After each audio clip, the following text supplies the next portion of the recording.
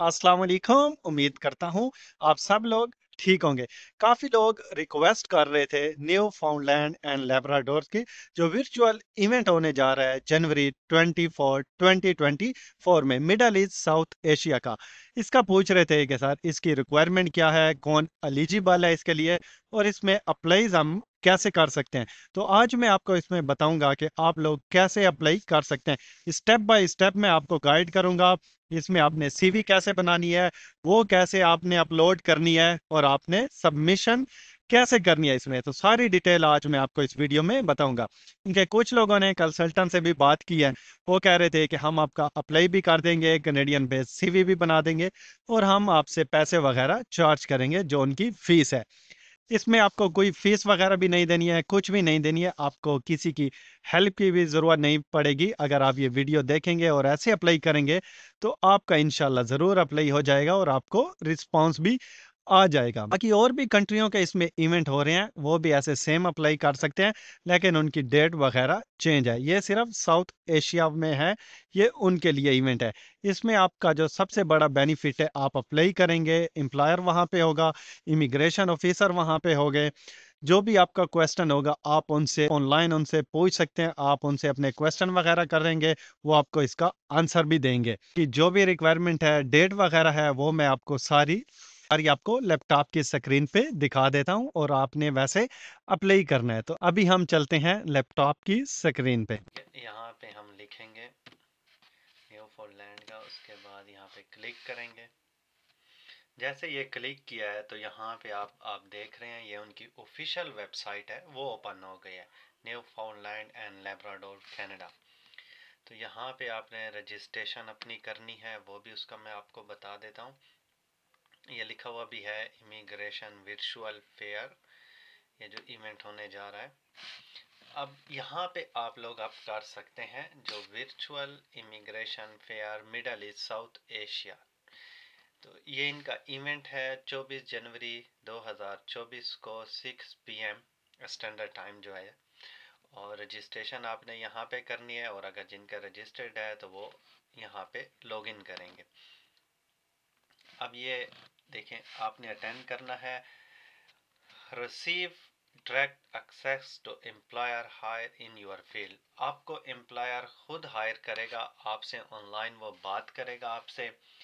और ये सारी अपडेट यहाँ पे दी हुई है कि आपने रेजुमी कैसे आपने अपनी अपलोड करनी है। Attend live immigration program information session and ask question directly to immigration officer आप डायरेक्ट क्वेश्चन भी कर सकते हैं इमिग्रेशन ऑफिसर भी वहाँ पे होगा, आप उनसे अपने सवाल जवाब जो भी आपका है, आप उनसे कर सकते हैं। तो इसका बहुत बड़ा एडवांटेज है इस प्रोग्राम का। तो ये इसकी सारी डिटेल यहाँ पे लिखी हुई है, बाकी मैं आपको और भी नीचे इसका बता देता हूँ कि और इसकी क्या क्या रिक्वायरमेंट है क्या क्या फ़ील्ड है इसमें। अब ये इसमें लिखा हुआ है क्वेश्चन वगैरह का भी लिखा हुआ है। अगर आपने कुछ क्वेश्चन करने हैं या कुछ आपने पूछना है तो आप इनको डायरेक्ट ईमेल भी कर सकते हैं। वो आपको उसका रिस्पांस भी यहाँ जो वो आपको रिस्पांस भी इसका दे देंगे।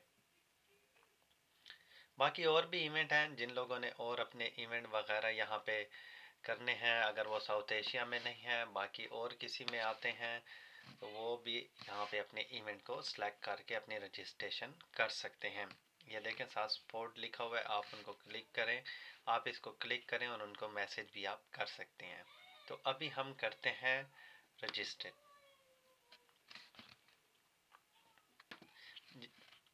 जैसे ही आप क्लिक करेंगे तो ये आपके पास सारी इंफॉर्मेशन आ जाएगी।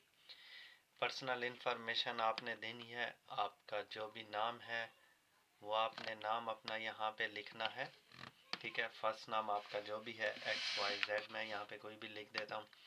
लास्ट नेम आपने यहाँ पे लिखना है, ठीक है? लास्ट नेम अगर आपका जैसे फ़र्स्ट नेम है फॉर एग्जांपल मोहम्मद, और लास्ट नेम है आपका अली। और अब इसमें कुछ बंदों का ऐसे भी होता है, मोहम्मद अली ख़ान। तो आपने यहाँ पे अपना नाम जो है, वो आपने लिखना है मिडल नेम नहीं लिखना है, जो आपका लास्ट नेम जो भी आएगा, खान आएगा तो वो आपने यहाँ पे लिख देना है, ठीक है? ईमेल आपने यहाँ पे ऐसी आपने देनी है जो आपकी लगे कि ये वाकई कोई प्रोफेशनल ईमेल है। आपने अगर नहीं है आपके पास प्रोफेशनल तो आपने बना देनी है अपने नाम से, जैसे यहाँ पे आया मोहम्मद अली ख़ान, उसके साथ कुछ ऐसे लगा दें कि आपकी वो प्रोफेशनल ईमेल लगे। अगर at Gmail dot com नहीं आता है तो मोहम्मद अली ख़ान लगा के और आप अपना एम ए लिख दें at Gmail dot com तो वो आपका यहाँ पे ईमेल एड्रेस आ जाएगा, ठीक है? M U H A double M A D Mohammad A L I Ali A G आप लिख के, ठीक है?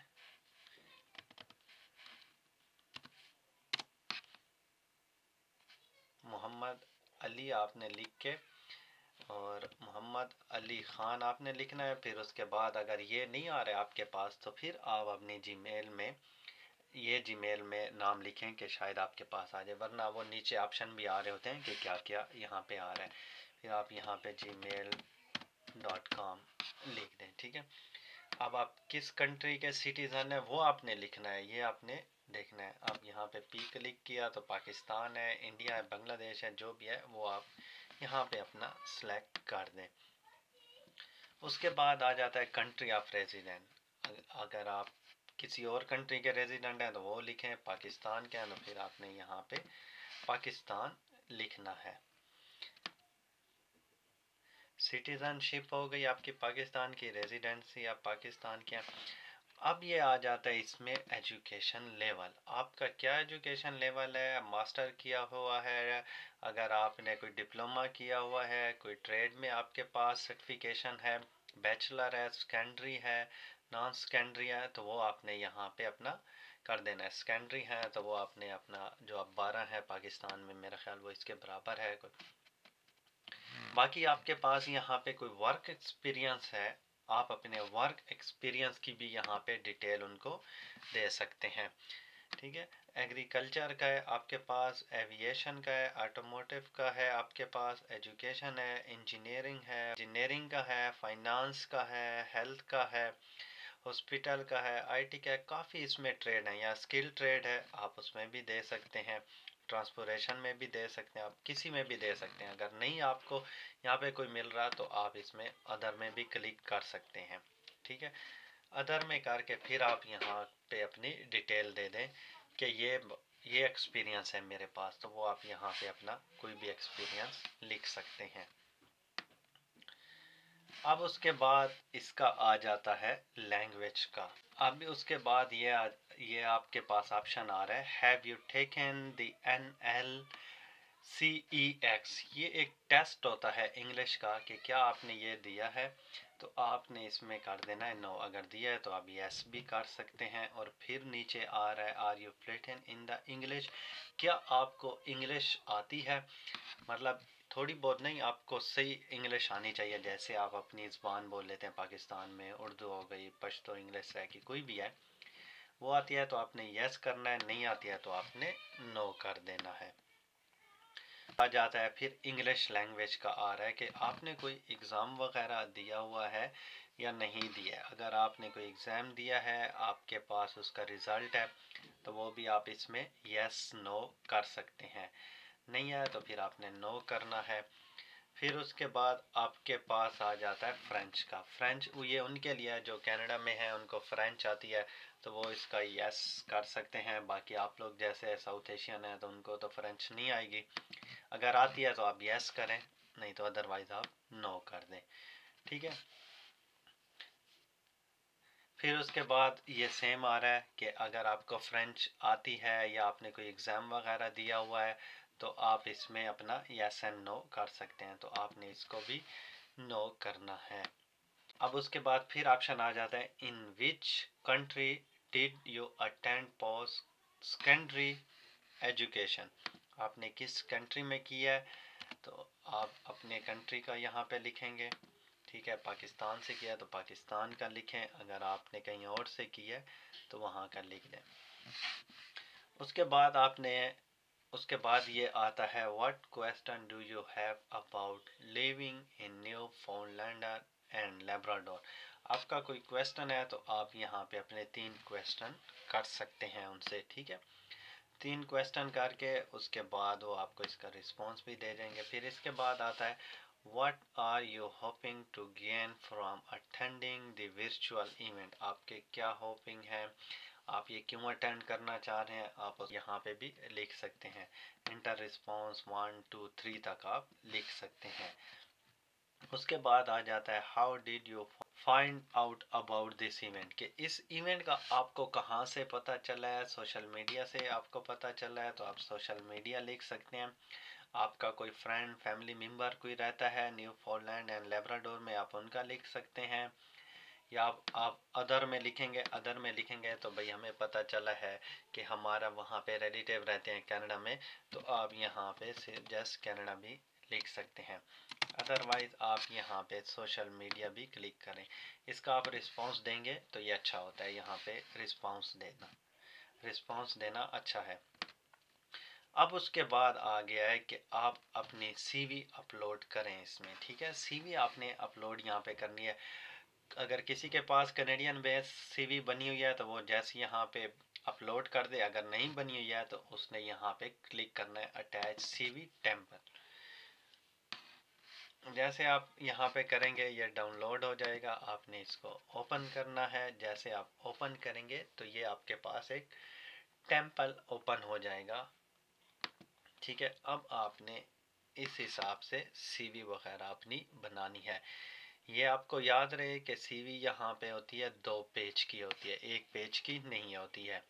ठीक है, आप अपना यहाँ पे नाम देंगे कॉन्टैक्ट नंबर देंगे, आपका पैशन क्या है, आपके पास स्किल कौन से हैं work experience education professional certification आपके पास कौन कौन सी है, वो सारी डिटेल आपने इन दो पेजों में देनी है। फिर first name and family name city ये आपने सारा यहाँ पे ऐसे लिखना है जैसे इन्होंने आपको एग्जांपल दी हुई है। अगर आप करंट कहीं पे जॉब कर रहे हैं तो आपने उसका लिखना है, आपका अपना बिज़नेस है, जिस फ़ील्ड में आपने अप्लाई किया, आप उसका भी यहाँ पे लिख दें। ठीक है, आपके पास और स्किल कौन से हैं? कंप्यूटर का आपको पता है, उसका आपने लिखना है। बाकी ये सारा ऐसे आपने अपनी रेजुमी बना के उसके बाद आपने सेव करके वो आपके लैपटॉप में आ जाएगी और आपने यहाँ पे अपलोड कर देनी है, ठीक है? फिर उसके बाद जी आ जाता है यहाँ पे I am not a robot आपने इसको क्लिक करना है, इसको क्लिक करके आपने सबमिट कर देना है। जैसे आप सबमिट करेंगे, आपको कुछ टाइम के बाद ईमेल आपको रिसीव हो जाएगी, जो ईमेल आपने यहाँ पे दी होगी उस पर ईमेल आएगी कि आपकी रजिस्ट्रेशन जो आपने कराई है वो रिसीव हो गई है तो वो नेक्स्ट फिर आपको वो बताएँगे कि आगे आप इसका क्या होगा। तो ये बहुत ही अच्छा है, आप लोग इसको ज़रूर अपना यहाँ पे रजिस्ट्रेशन करवाएँ और इसको आप ज़रूर इस इवेंट को अटेंड करें। हो सकता है आपको इस इवेंट से आप कनाडा आ जाएँ यहाँ पे, आपका कोई एल एम आई की भी ज़रूरत नहीं होगी, किसी चीज़ की भी आपको ज़रूरत नहीं। आपको एल एम आई ए की भी ज़रूरत नहीं है डायरेक्ट आपको एम्प्लॉयर हायर करेगा और आप सीधा कनाडा आ जाएँगे न्यू फोनलैंड एंड लेबराडोर में।